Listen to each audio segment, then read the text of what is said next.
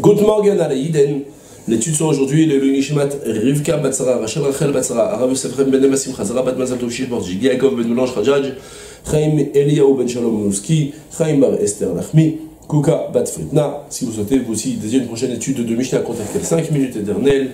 Nous étudions Bavadra, Perik Dalet, Mishnah Bet, Loet Abor, Veloet Adut, Afalpi Shekatavlo, Umka Veruma, וצריך לקח לו דרך דברי רבי עקיבא.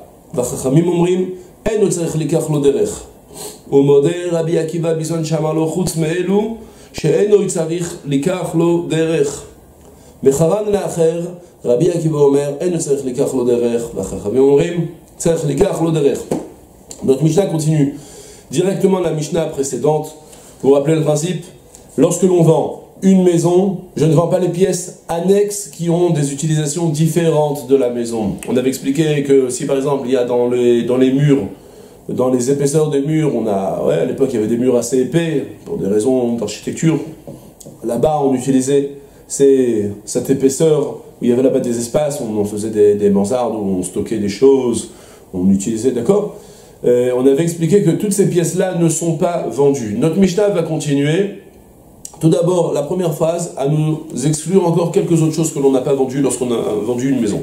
Et abor, velo sheketavlo, umka, veroma. Il n'a pas vendu non plus le puits de la maison, c'est-à-dire lorsque je te vends une maison, eh bien, s'il y a, c'est le cas vraiment qu'on qu a rapporté hier en fait, s'il y a, je sais pas moi, un seul accès de, il y a un puits ou un doute, c'est la même chose. Voir et doute, c'est des, histoires d'architecture. Un où il a plus de pierres et l'autre il a plus d'autres pierres. D'accord On va traduire tout ça par des puits uniquement. Je connais même pas la nuance en français.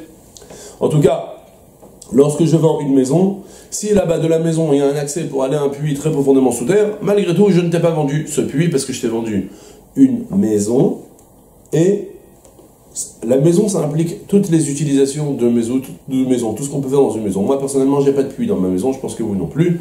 Donc, vous voyez bien qu'ici, que dans, la définition du mot maison, on n'inclut pas d'autres choses qui, sont, vraiment complètement annexes. Une chambre, euh, par exemple, donc le puits. D'accord? Même s'il lui écrit dans le contrat, il lui dit Je te vends la maison, Umka, en profondeur, Veruma et dans ses hauteurs. Je te vends genre tous les espaces de la maison. Mais là, malgré tout, ce n'est pas encore inclus, parce qu'il a voulu simplement lui dire, je te vends toute la maison euh, depuis, même sous, même sous terre, tu pourras encore partir construire une maison sous terre. Mais cette partie-là, en tout cas, qui est un puits, qui a une, euh, une, entité indépendante, je ne te la vends pas. Dans le Bartanora, on apprendra un cas particulier, qui est lorsqu'il lui dit, it tehoma adrumakia. Depuis le fin fond de la terre, tout l'espace, comme ça en fait, euh, comme ça je comprends quoi. Mais il le précise comme ça, de tout l'espace, depuis le fin fond de la terre jusqu'à jusqu'à la hauteur du ciel. Alors là, là, s'il a dit un, un, langage pareil, s'il a précisé, il a précisé aussi lourdement tout ce qu'il lui vend, alors on va interpréter que ce qu'il a voulu vendre en réalité, c'est l'espace de la maison avec tout ce que ça inclut, donc il aura vendu tout. D'accord? C'est clair, la notion elle est simple.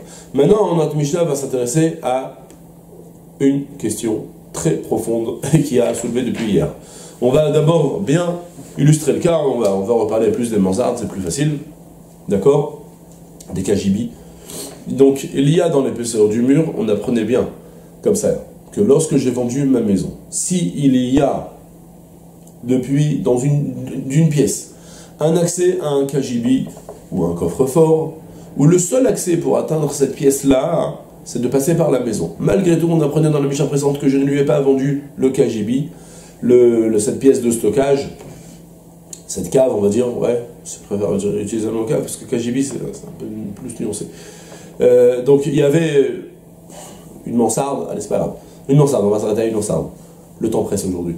Euh, il y a une mansarde là-bas où il n'y a pas. C'est une chambre où on fait que de stocker là-bas des choses, donc ça n'a plus d'utilisation de maison. On apprenait dans la mission précédente que je ne lui ai pas vendu cette pièce-là.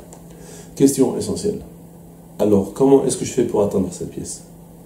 Est-ce que je garde un droit de passer par la maison pour atteindre cette pièce ou non? Alors qu'est-ce que je ferai?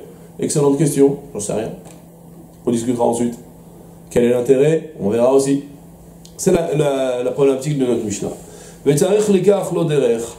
Lorsque je t'ai vendu la maison et donc que je ne t'ai pas vendu cette pièce annexe, la mansarde là-bas,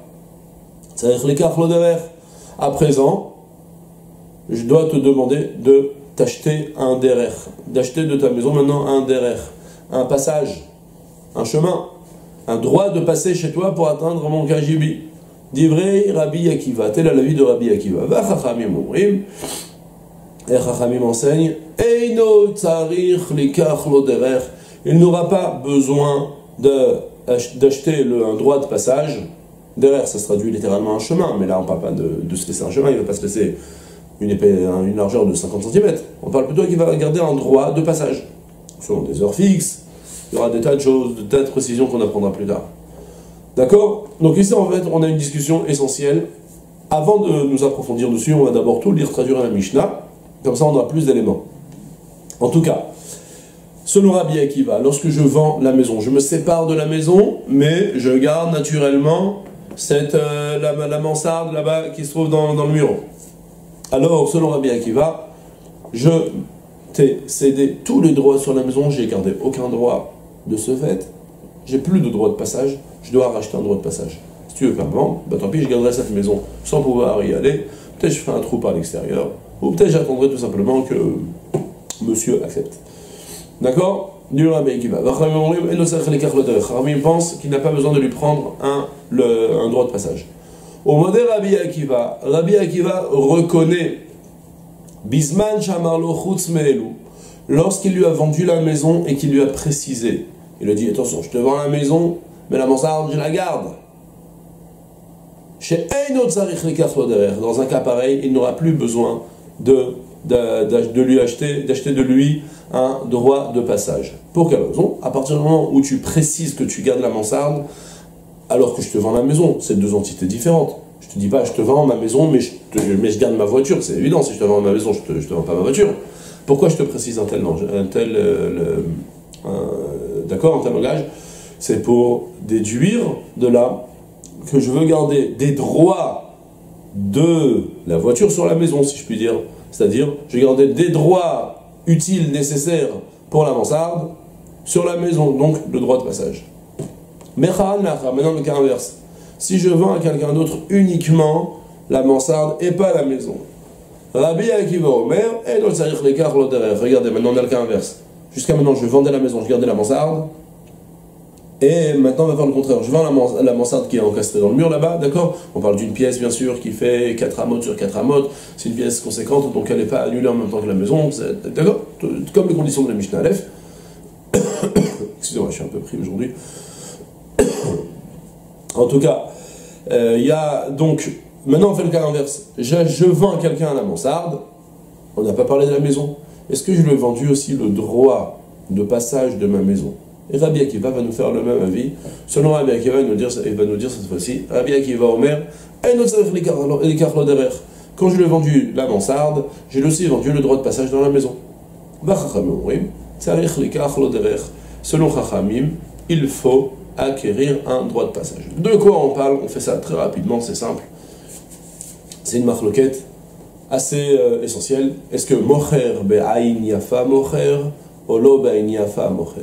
Est-ce que lorsque je vends quelque chose à quelqu'un, je vends une entité, une chose Est-ce que j'ai cette entité pleinement, yafa, avec un bel œil largement, qui kiffe, je lui donne tous les droits, tous les, droits pour qu'il puisse exploiter concrètement, agréablement ça, ou non Ou je me laisse des droits logiques de les garder Oui, il y a une certaine logique, mais malgré tout, euh, je, bon, je le cède, je lui cède pas. Même s'il y avait, une, même s'il avait une, logique, une certaine logique de lui donner ses droits, malgré tout, je ne lui cède pas parce que concrètement, on n'a pas évoqué la question.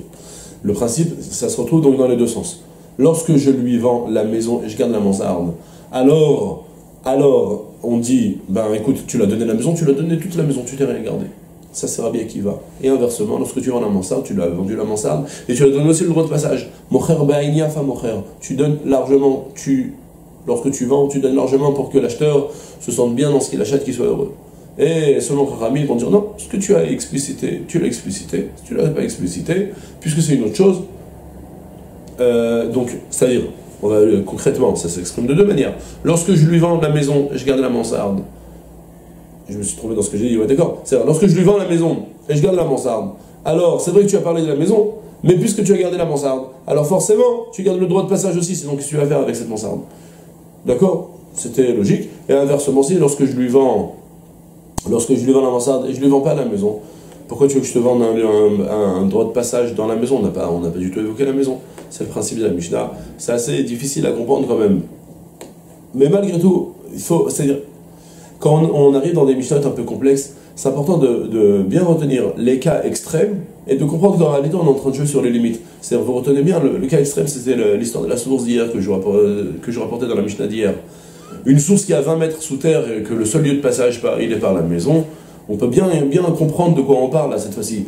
Je lui vends la maison, il n'y a pas de raison que je lui vende cette source, même si le seul lieu de passage il est passé par la maison, c'est une utilisation complètement différente. Et maintenant, de notre Mishnah va découler maintenant, lorsque je lui vends la maison, est-ce que j'ai un droit de passage ou non? Rabbi Akiva va nous dire, bah non, t'as vendu la maison, t'as donné tous les droits de la maison, tu vas pas lui casser les pieds. Alors comment tu vas faire? Excellente question. C'est pas le problème de Rabbi Akiva. D'accord? Et selon Chachami, ils vont nous dire, bah non, puisque la seule utilisation du puits ou de la, source est de passer par là, alors, alors c'est sûr que tu t'es gardé le droit de passage. D'accord? On retient l'idée. Et on fait à présent le droit. Bor Khafira Bekarka. C'est quoi un bord C'est un endroit creusé. Étant donné que le rabbi, que dans la Mishnah on va parler de deux cas de figure, il y a bord et doute.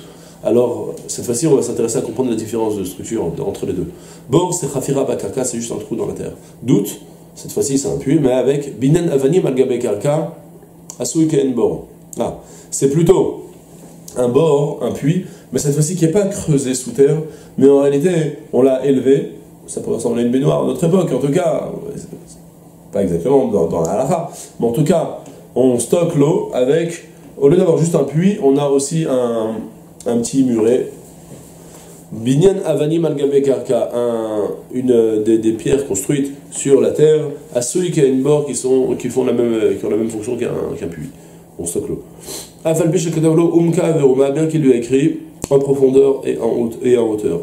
L'okana bor il n'a pas acquis le puits, ho'il vetashmishan minabait, étant donné que leur utilisation est différente de celle d'une maison. Parce que lorsque je te vends une maison, je n'inclus pas les choses qui ne sont pas une maison.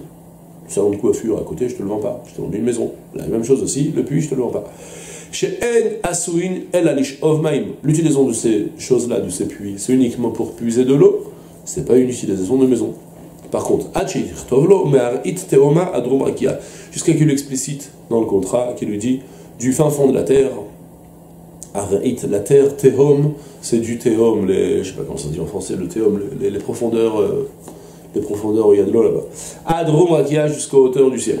Vetzarich mocher, maintenant c'est le deuxième sujet de la Mishnah, Vetzarich mocher, l'acheteur, le vendeur doit ensuite, l'ikach loderer, acheter ensuite un droit de passage minalokear de, euh, de l'acheteur, l'élève labor doute pour pouvoir atteindre ensuite son puits qui est à l'intérieur de la maison. Pourquoi? Des mocher be'ain yafa. Ou mocher, parce que celui qui vend, selon Rabbi Akiva, vend be'ain yafa avec un bel œil, largement, il fait, fait l'autre. Ou mocher, donc il lui vend avec un bel œil. Veloshir latzmoklum, et donc il ne s'est laissé aucun droit sur la maison. Je te donne la maison entièrement. Par contre, Chachamim pense qu'il n'a pas besoin d'acheter ensuite un droit de passage. C'est sûr qu'il se laissé. Pourquoi?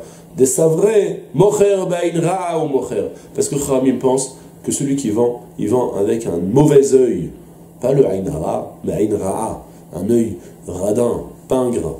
Ou mocher, et que lorsqu'il a vendu la maison, lorsqu'il a vendu la maison, donc c'est sûr qu'il s'est laissé le droit de passage. C'est-à-dire, il ne le vend pas au point de faire kiffer l'autre, au point de se retrouver en situation difficile, c'est sûr qu'il s'est laissé le droit minimum pour, euh, pour continuer à exploiter ce qu'il s'est laissé. Par contre, même Rabbi Akiva reconnaît que lorsqu'elle dit je te vends la maison, à l'exception de cela, du puits, de la mansarde et tout ça. À l'exception du bord, pourquoi il a eu besoin de le préciser? Lorsque je te vends la maison, c'est sûr que je t'ai pas vendu la mansarde. Pourquoi est-ce que j'ai besoin de te préciser que je me garde la mansarde? Alors, c'est au de fouiller derrière c'est sûr qu'il s'inclut ce, cet ajout-là pour s'inclure le droit de passage à l'intérieur de la maison. Genre, je te vends la maison, mais attention, souviens-toi que j'ai la mansarde moi, donc, ou le puits qui est à moi, donc j'ai un droit de passage pour attendre mon puits. Ensuite, le cas de la Mishnah, de la Seifa, maintenant on prend le cas inverse où il a vendu ce puits à quelqu'un d'autre. Il a vendu le puits à quelqu'un d'autre. Et il s'est laissé la maison pour lui-même. Donc il a vendu le puits à quelqu'un, il s'est gardé la maison pour lui. Rabbi Akiva Omer, En alokar mimenu derer l'acheteur n'a pas besoin d'acheter, d'acheter ensuite un droit de passage. Pourquoi? Des mocher ba'inyafa au mocher. Lorsqu'il lui vend, il lui vend largement ba'inyafa avec un bel oeil. Pour shemachar lo et lorsqu'il a vendu le puits, derchnami machar lo, il a aussi vendu le chemin. Ve'alacha ki Rabbi Akiva. La est comme Rabbi Akiva. C'est déjà super. Euh, ouais dans notre logique, c'est pas tellement. D'accord Lorsque l'on donne quelque chose, on le donne pleinement. Donc, dans les deux cas de figure, si je te vends le puits et je garde la maison, alors, c'est le cas de la Seifa, je te vends le puits, je garde la maison, j'ai pas eu de droit de passage, je me suis pas laissé de droit de passage sur la maison, et je t'ai donné un droit de passage sur la maison, et si je te vends la maison et je me garde le puits, alors de nouveau, pas de, je me suis pas laissé de droit de passage parce que je te donne la maison complètement. C'est tout pour aujourd'hui. Je vous souhaite une journée pleine de Hatzlacha un Gmar Kol